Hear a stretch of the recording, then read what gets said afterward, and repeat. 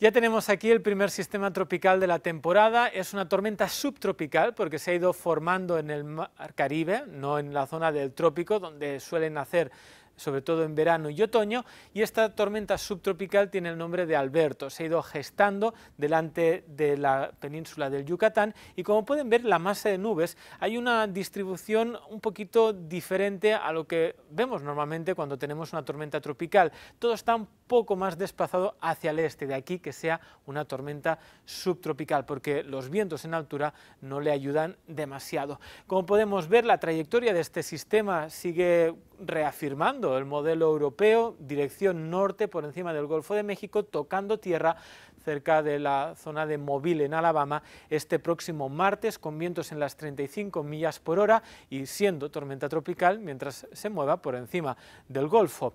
Tenemos de momento una vigilancia por tormenta tropical en el oeste de Cuba y en la zona de Cancún por la fuerte lluvia, el viento y lo que vemos en la cámara, el oleaje. Vean